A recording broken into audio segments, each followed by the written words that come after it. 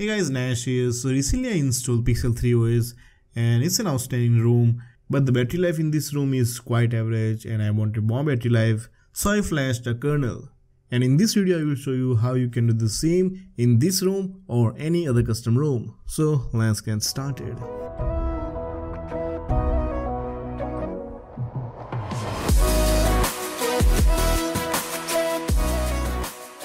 So this Pixel ROM is really amazing and you can install it in many devices. I recently made a full review on that. If you want to watch that video, you can check that in I button.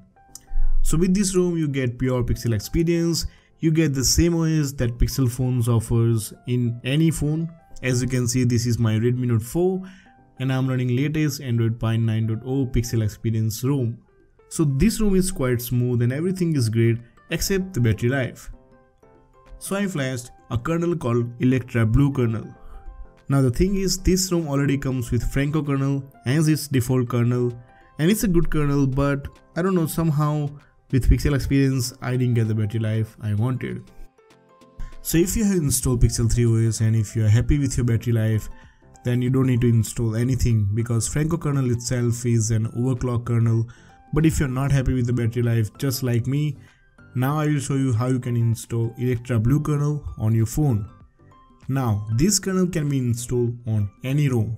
It's not ROM specific. You can install this on Pixel ROM or Lineage OS ROM or Resurrection Remix ROM. Doesn't matter if you are on Android Pie or Android Oreo. And just to be clear, to install this kernel, you don't need to be rooted. Because every time I make a video, I get bunch of comments saying do I need root no guys, you don't require a root to even install a custom ROM. You just require a custom recovery installed in your phone and that's it. And now I will show you how to install this kernel on your phone and then I will show you the battery life I got with this kernel. So first of all download this Electra Blue kernel from link given in description box below. Once you download the kernel, transfer it to your internal storage and then switch off your phone. And now it's time to boot into recovery. Currently I'm using TWRP exclusive recovery and if you want to install this recovery, link for that also will be in description box below.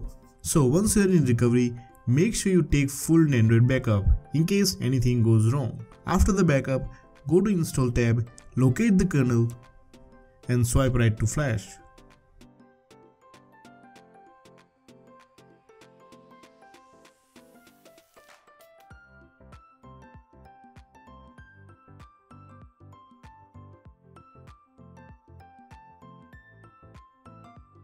And then reboot.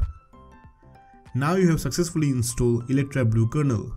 After phone boots up, let me quickly show you in about section that the kernel is installed properly.